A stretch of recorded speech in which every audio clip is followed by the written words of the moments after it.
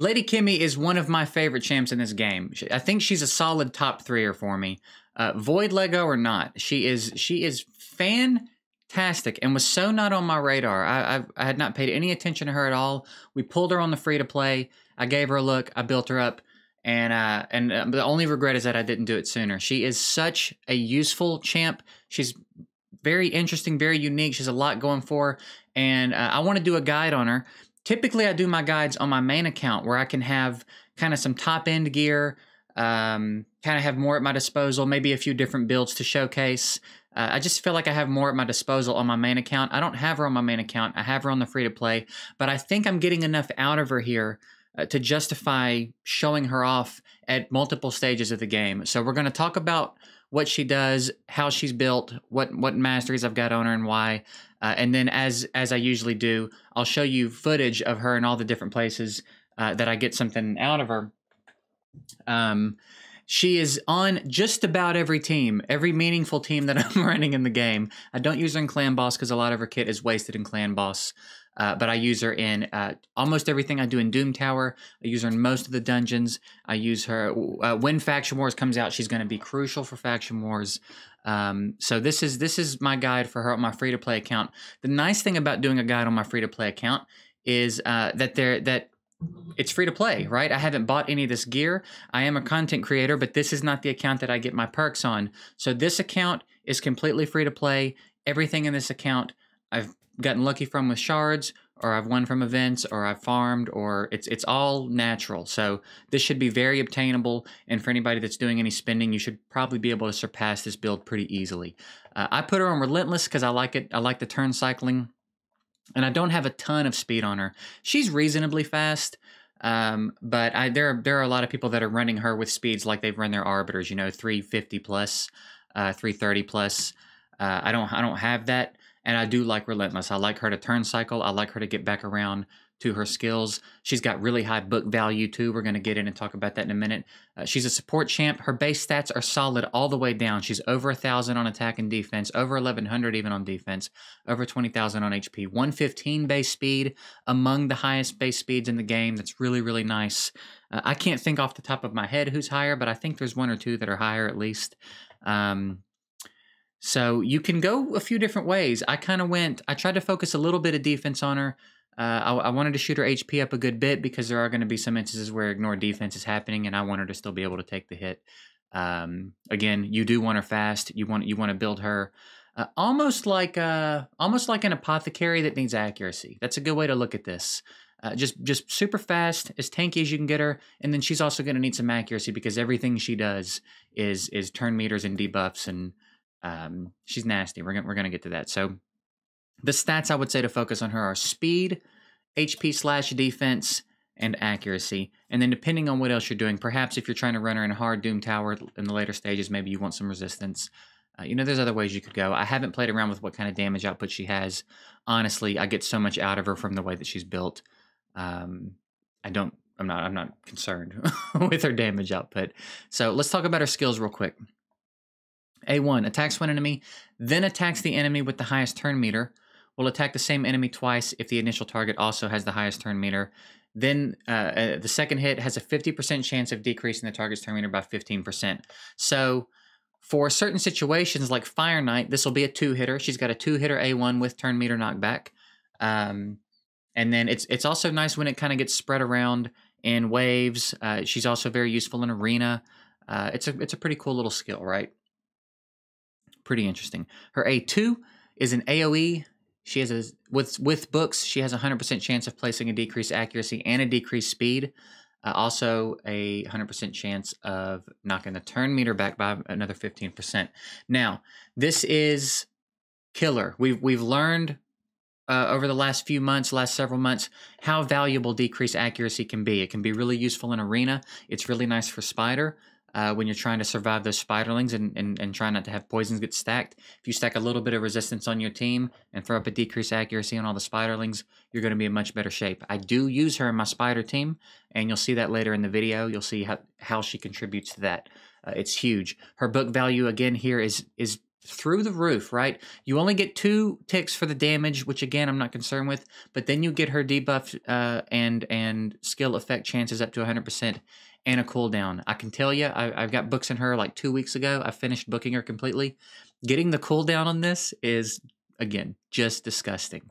It is so nasty to have this come around every three turns, especially when she's on Relentless, right? She's just constantly throwing this out, knocking turn meter back, uh, decrease accuracy. If you, we'll, we'll talk about some some synergies that she has um, when we finish talking about her skills.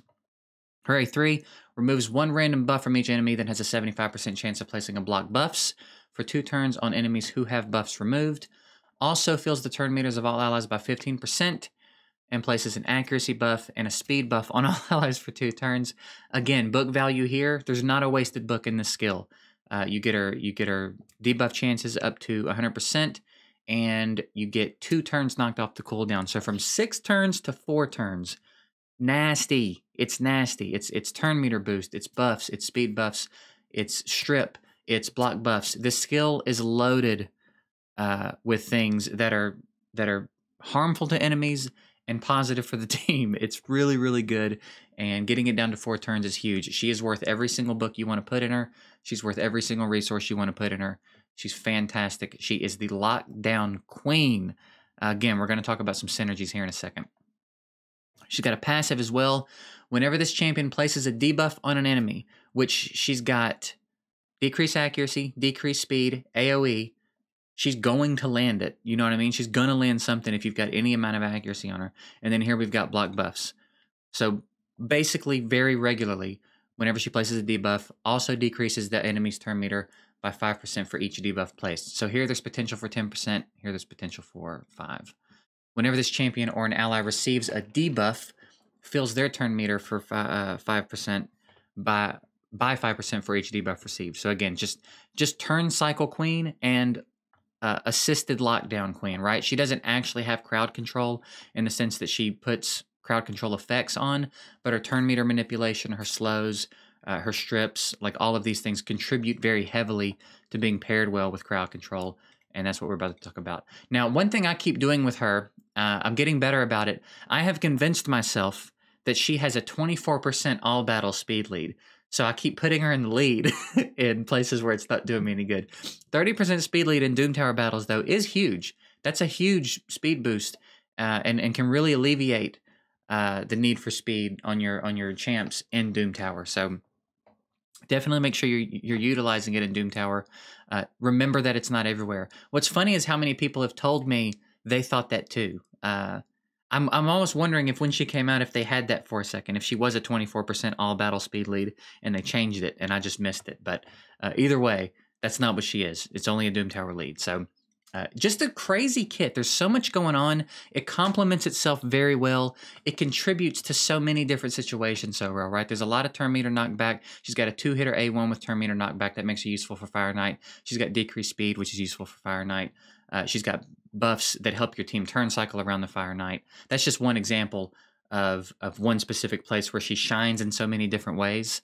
Uh, but really, honestly, everywhere you take her, it's nasty. So some of the synergies, if you if you put her with any crowd control control champ, Scyl is a great candidate for this because Scyl is another champ that's just fantastic, and she's got a great um she's got a great A two right with the, with the stun. She's fairly reliable with the stuns. If you run her with Lady Kimi, it's just it's just worse, right? It, it, gets so much worse. Everything Lady Kimi is doing to the enemies gets so much worse to them because now they're being controlled, they're being slowed, they're having their turn meter knocked back, and and and someone's locking them down as well. So taking the turns that they finally do get when Kimmy stops popping off. Uh, then they don't even get their turn, right? And then now they're slowed and they've got to come up slower to try to get another turn before Scyl gets back around to her stuns or whoever else you're running with, right? Uh, another good example of a great synergy is Rhazin. Rhazin is a is a another fantastic champ across the board, and this bog down skill with Kimi's uh, slows and, and everything she's doing is insanity. Paired with Scyl, it's even more disgusting because now Kimi's doing everything she's doing. Syl's locking him down, and Rhazin's resetting turn meter. So now they got to start the whole process over of just trying to get a turn, right? Uh, it's really, really, really bad. Another good one. Um, this is a champ that I'm I'm a fan of. I haven't done anything with her on this account, um, but I do have her on my. I have her built on my main account if I can find her here, we'll just go into the index and show you. Uh, she's one of the login rewards. Uh, Tanix. Where is she? Tanix. She's got this. Um, where, where is it? She's got something. Yeah, attacks two times at random, heals all allies by 3% of this champion's HP with each hit on targets under decreased speed. So if you if you beef her HP up pretty high, this is pretty nice. It's a pretty nice heal on an A1. It's happening very regularly, right? Um, and then she's got an A2 that kind of complements herself, but Kimi can set her up really well, right? Having having that reinforcement for her is really really nice. Um, so so this this allows her to be pretty good support. It gives her something to shine with. You you kind of do have to synergize her with with someone. How come I can't get out of the index? What's happening here? I was stuck in a. I didn't even realize for a second I was stuck in that loop. Um, so I've got you know I've got Tormund and I've got Drex and I've got Iggy and you know you know Tormund paired with HP burn can be really disgusting. Uh, crowd control as well. Pair with Lady Kimi and Doom Tower, uh, it's just it, it just gets out of hand, man. So I mean, anybody, monster, anybody with any kind of crowd control is great. Scyl's a great candidate because one, she's fantastic everywhere. Two, she's free. Same with Rhazin. Rhazin's kind of tougher to fuse, but if you once you get Rhazin, um, contributes very very heavily. So uh, Drex is also nice, right? Lock them down and put HP burns on them. Let them kill themselves over time. Um, let's talk about her masteries real quick, and then we'll start going around and talking about everywhere that, that she's getting used right now and, and where I think she's good. Uh, I just finished mastery grinding her tonight. I just got this mastery on her tonight. Um, I have this honor because I because of the way I use her in Doom Tower. I want her to be able to contribute some damage to the bosses too, right?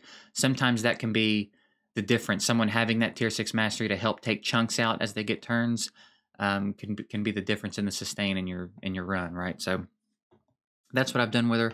Uh, over here, it's pretty standard, right? It's it's just the stuff that gives her accuracy, lore of steel, so she can get a little bit more accuracy from the accuracy set. And if I ever did rework her and put a speed set on her, she'd get a little bit of a bonus from that.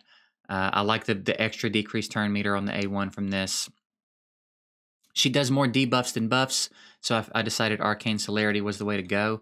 Um, if you had enough accuracy on her and didn't want to bother with this, you could split here and do the buffs and the debuffs for turn meter boost when they expire or are removed, just to help her turn cycle more. The more you can help Lady Kimi turn cycle and get turns, the the more disgusting it's all going to be, right? The more she's taking turns, the worse it is because everything she's doing is slowing them down, right? Everything she's doing essentially is just making the situation worse from them. It's slowing them down. It's making it harder for them to get a turn. It's taking buffs off of them. It's putting debuffs on them. Um, everything she's doing is bad. So the more turns she gets, the better. Uh, so anything that can help her turn cycle is great. And then uh, when I finish, I'll probably put. Uh, I don't even think she. I might put this on her. I don't think she needs this one. So I'll probably put this on her.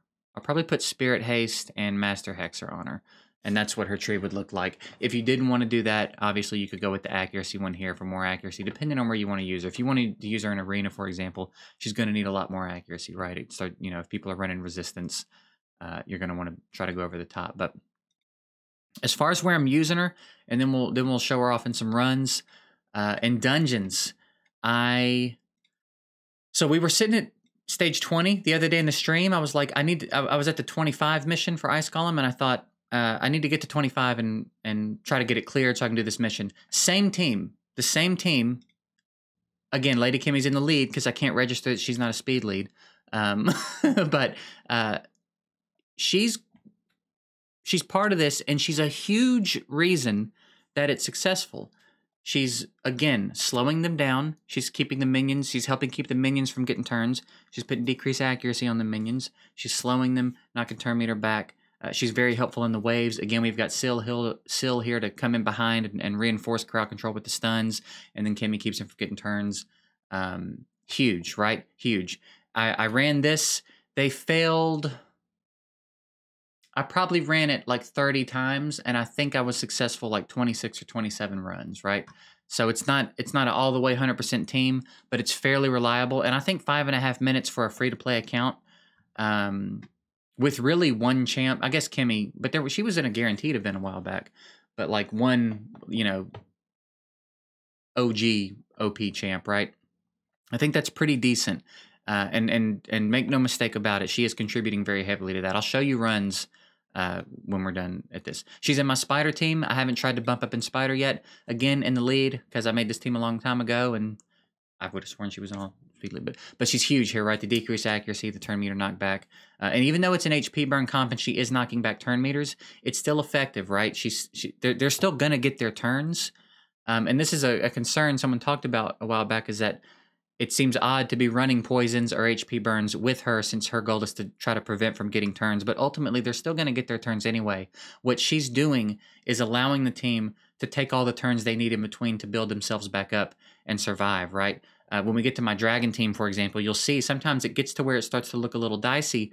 Um, but she's boosting and helping us cycle so much that Scyl's getting turns and we're getting heals. And by the time we take another hit, we're prepared to take the hit, right? Bad L's continuous heals have been able to proc and and all that. But um, so so it, it might seem like it's a little counterintuitive, but I promise you she's contributing very heavily to the success of this run, right? Because not she's also keeping the spider from taking a turn. Um, and the Spiderlings are going to get their turn anyway. That's just the way it's going to go. Uh, this is a very successful team. I don't think this team ever fails. Actually, I'm pretty sure this is a a uh, hundred percent team. I, I I don't recall. I haven't run it in a while, um, but I don't I don't think they fail. Uh, Dragon, it was the same situation as Ice Golem. We just ran our way all the way up to 25. It's a little bit slower. Uh, it's a very similar team. It's just Rhazin instead of Sag- uh, Stag Knight. Uh, and Stag Knight would probably honestly work here, but I wanted to get Rhazin in the mix because the waves. I feel like the waves are a little bit tougher here. Um, but again, she she helps us cycle so much that between Bad L and Scyl, we get healed back up between every hit. Uh, if someone needs to be revived, they have time to get revived and catch a couple of heals before the dragon takes a turn again. So even though we can't slow the dragon and knock the turn meter back, she's still helping us run laps, right? She's still helping us run laps and get that healing back. I haven't tried her in Fire Knight. Uh, it's been a long time since I've run any Fire Knight. Uh, this is my Fire Knight team currently. If I'm not mistaken, I had her here, and when I got Deacon, I put Deacon in. Um, but I think she was here, and we were running it f- semi successfully. It was a little bit tougher. Knight's a little bit tougher. She's off Affinity. Um, I think I was having a little bit more trouble keeping her alive. She's off Affinity, but it's different with Scyl. Scyl's a little easier to keep alive. Um, so I'm interested to see how she contributes as I work my way up in, in the stages here. But I mean, you see I'm using her everywhere, right? Uh, we'll, we'll take a quick peek at Doom Tower. Uh, this is a this is a full auto team. There's no danger. Uh, I don't use her in Nether Spider or Magma Dragon, but I do use her in Griffin. Um, I don't know why she wasn't lead. It's like I'm using her as lead everywhere that she's not effective. and then in Doom Tower, she wasn't the lead of that team. I don't know what that's about. Either way, it was successful. Um, and it's huge. She's just so freaking good here. So uh, now, uh, like we do, I'm going to just, um, you know, play some music, play some runs. If you want to see her in action, if not, you have all the information I think I have to give on her at this point. I don't know how much commentary I'll do over the runs, but I know that in the past you guys have liked to see uh, some of the stuff I've talked about in action. So a little bit of a longer guide, a little bit long winded. She just does so much, man. There's so much to talk about with her. Uh, easy top three favorite champ for me. Uh, I'm excited for Shadow Faction Crypt to open up and see what kind of work we can put in with her uh, in there. And uh, other than that, that's it, man. I hope that this was helpful for you guys. I'm going to go ahead and say bye now. Uh, if you got some out of this, I would appreciate you liking the video. Uh, subscribe if you want to see more. And man, that's it. That's it. Appreciate y'all. Later.